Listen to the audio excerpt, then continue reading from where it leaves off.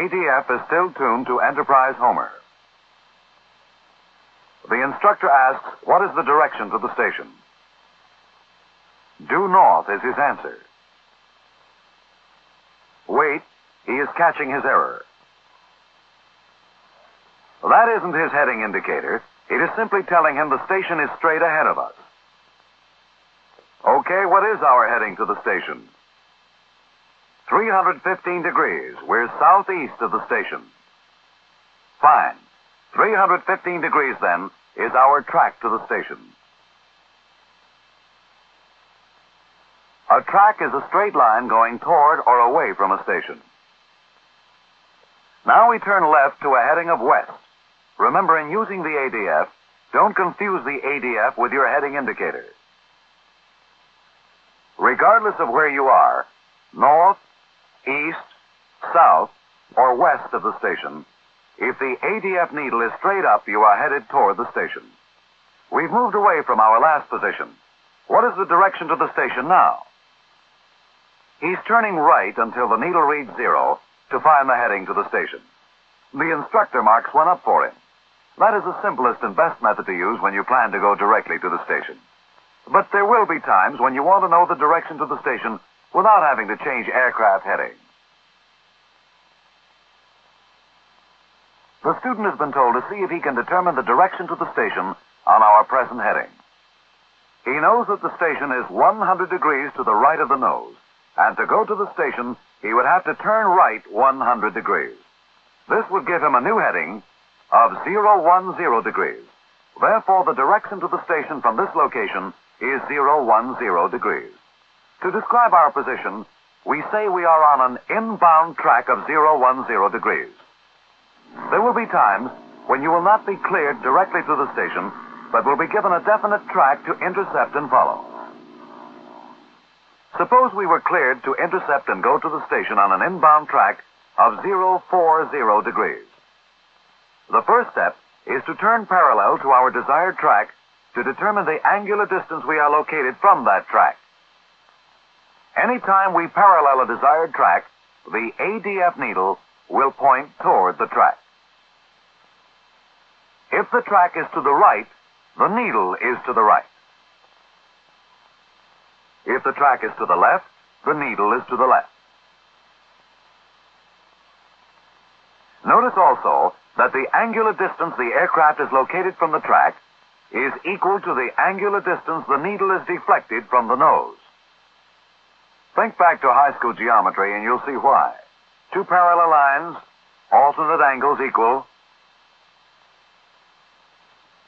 In our case, we know that the desired 040 degree inbound track is 30 degrees to our left.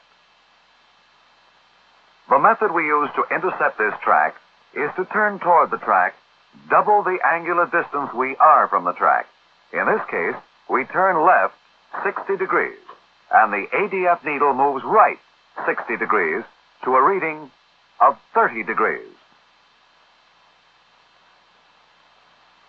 Since we must fly through a 30 degree change to reach our track, the ADF needle will move further away from the nose as we progress toward the track. Now we must think ahead. What will the ADF indicate when we reach our new track? Remember, we turned away from our parallel heading 60 degrees. So we will cross the new track at a 60 degree angle. He isn't quite sure. He's thinking. Will it read 60 degrees right of the nose? Sure it will. It must be deflected from the nose of the aircraft, an angle equal to the interception angle. Let's see if it checks. As he turns right 60 degrees to go toward the station, the needle will be displaced 60 degrees left to zero. We are on the 040 degree inbound track. And it will work that way with any interception angle. If you intercept at a 90 degree angle, the needle must show a 90 degree deflection when you reach the track. A 45 degree angle, the needle must show a 45 degree deflection, and so on. This also applies when intercepting an outbound track. except that the angle of deflection must be computed from the 180 degree position of the ADF dial.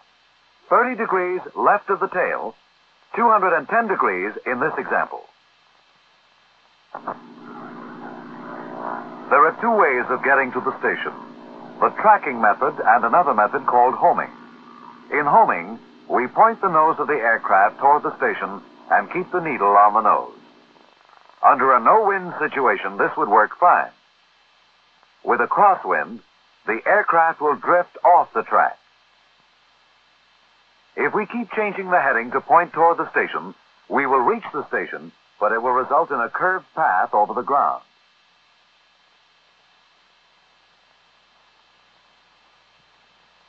This can be very dangerous, where a definite track must be followed for aircraft separation. We will use the tracking method. This involves finding the correct drift correction for wind by bracketing so that we will maintain the desired track. The first step is to get on the desired track and on the heading of that track. Be careful to maintain the heading. Now watch the ADF needle for an indication of drift. Our needle is moving left, so our aircraft is drifting right. Now we must turn to a heading that will return us to the track. Normally 20 degrees is ample.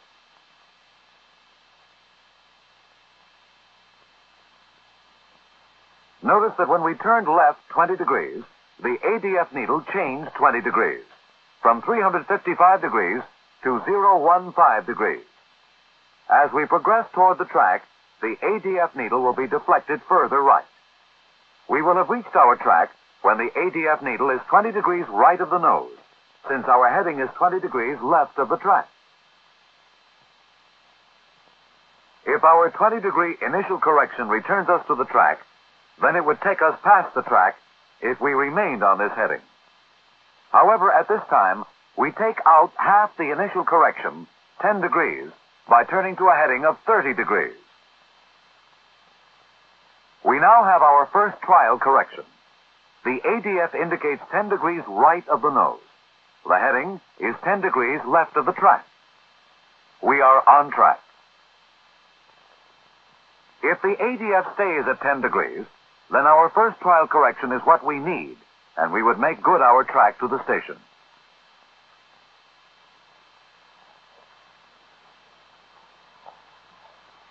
In our situation, the ADF is moving to the left, so we are again drifting to the right. The 10 degree correction is not enough. A 20 degree correction took us back the first time. Let's use it again. As we reach the track this time, if we take out only 5 degrees, well, that leaves a 15 degree correction. If necessary, further adjustments in heading are made. Suppose if after trying our first 10 degree correction, the needle moved to the right. In this case, we would have known a 10 degree correction was too much. To correct this, we turn to the inbound heading of our track 40 degrees and let the wind drift us back to the track. At this point, we would turn to a heading of 35 degrees to establish a new trial correction of 5 degrees left. Tracking is relatively simple if all procedures are followed. In almost all cases, it is essential that we follow a specific track. Here again is our flight. The 15 degree left correction is making good our track. Let's see how the needle reacts as we approach and pass over the station. The ADF indicator begins to oscillate, and as we pass the station, the needle swings around 180 degrees.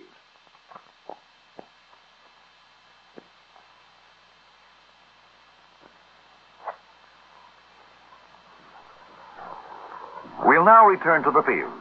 This time we will intercept the outbound track of 125 degrees. Again, parallel. We check the angle off. In this case, 20 degrees. Then double the angle to intercept. Here we will intercept our track at a 40 degree angle. We will be on track when the ADF needle is 40 degrees right of the tail, or a reading of 140 degrees. With our heading now 125 degrees, the ADF needle at 180 degrees, we are on the 125 degree outbound track. For outbound tracking, we use the same basic procedures as we do when tracking inbound. Only as we drift off track going outbound, the needle will be deflected from the 180 degree or tail position, here 185 degrees. As we turn left 20 degrees to return to the track, notice that the ADF needle moves further away from the tail to 205 degrees. As we approach the track, however, the needle will move back toward the tail. When the needle is 20 degrees left of the tail, at 200 degrees, we will be on track.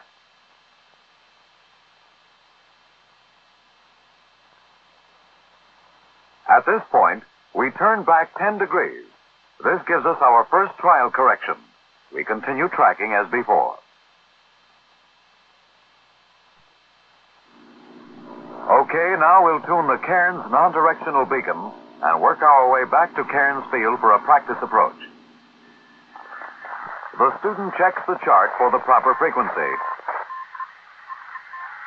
sets the function switch to antenna position, selects the proper frequency band, and tunes to 410 kilocycles. He listens for identifiers. He switches to compass position and tunes for maximum deflection. He now checks the indicator, and we continue toward the station. The student seems to know the tuning procedures. Now he will check the approach chart for Cairns as the instructor gets permission from Cairns Tower to make a practice approach.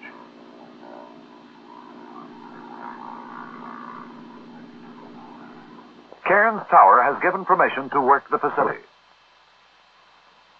Notice that the approach course is the 241 degree outbound track. The procedure turn is to the north, and the published procedure turn altitude is 1,400 feet. The low cone minimum altitude is 900 feet. For the time from station to field, we check the scale at bottom for our airspeed. And check the back of the chart for approach minimums.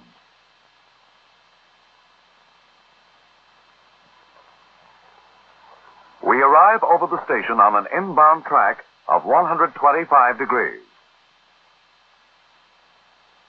To enter the left-hand holding pattern from this direction, we turn left to the outbound heading of 241 degrees. When the ADF needle passes the wingtip position, check the time for the outbound leg of the holding pattern. We continue outbound the required time. Turn to intercept the inbound track and continue holding.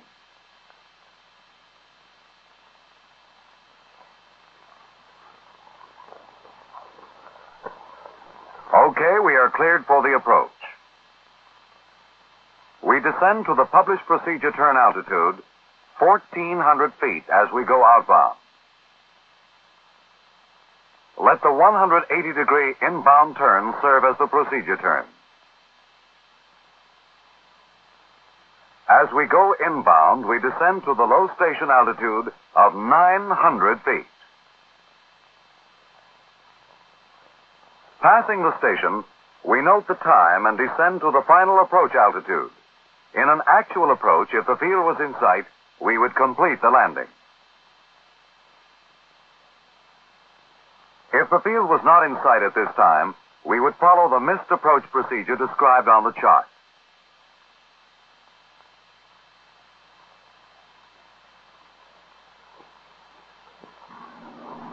That can be a very welcome sight when making an actual instrument approach. It looks pretty good on a check ride also.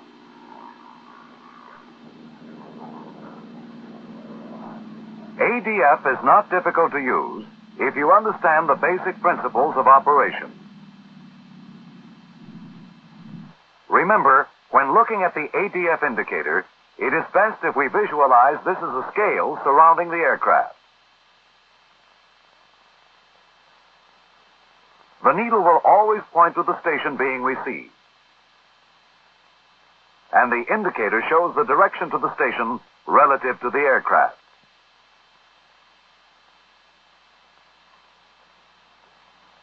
To determine the direction to a station, we must use both the ADF and the heading indicator, as we saw earlier in this situation.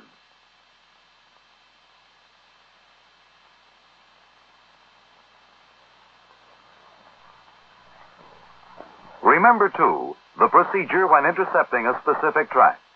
You will have reached the track when the needle is deflected an angle off the nose or tail equal to your interception angle.